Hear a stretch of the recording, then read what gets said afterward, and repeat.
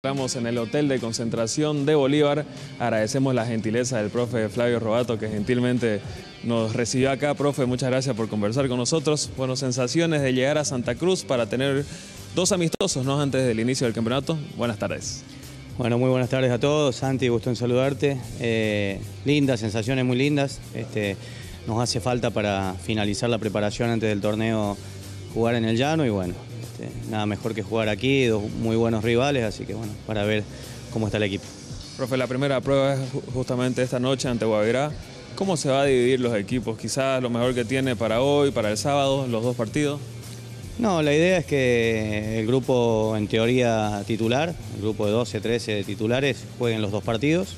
Vamos a ver este, con el tema minutos cómo estamos, pero, pero la idea es esa, ¿no? Después los chicos que han llegado de la selección, para conocerlos también en campo. Eh, también tendrán, tendrán algunos minutos, pero es importante que, podamos ir afianzando conceptos, sobre todo con los, con los que están habitualmente jugando estos, estos tres partidos que hemos tenido. Profe, creo que es muy positivo eh, el rendimiento que tuvieron los chicos del preolímpico, casi todos en muy alto nivel. Eso va a potenciar al equipo seguramente, ¿no?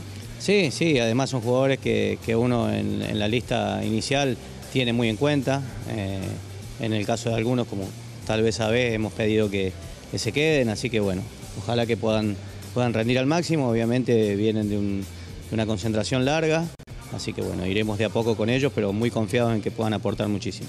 Profe, una de las últimas ya para ir cerrando. ¿El plantel ya está totalmente conformado? ¿Puede llegar alguno más antes de este cierre del mercado de pases? Es probable que, tengamos un jugador más, este, que a lo mejor vos ya lo sabés.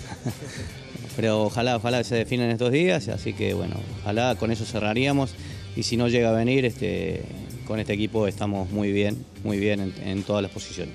Profe, le agradezco como siempre un placer conversar con usted y bueno, lo mejor para lo que viene. Dale, muchas gracias a usted, un saludo grande y siempre a disposición.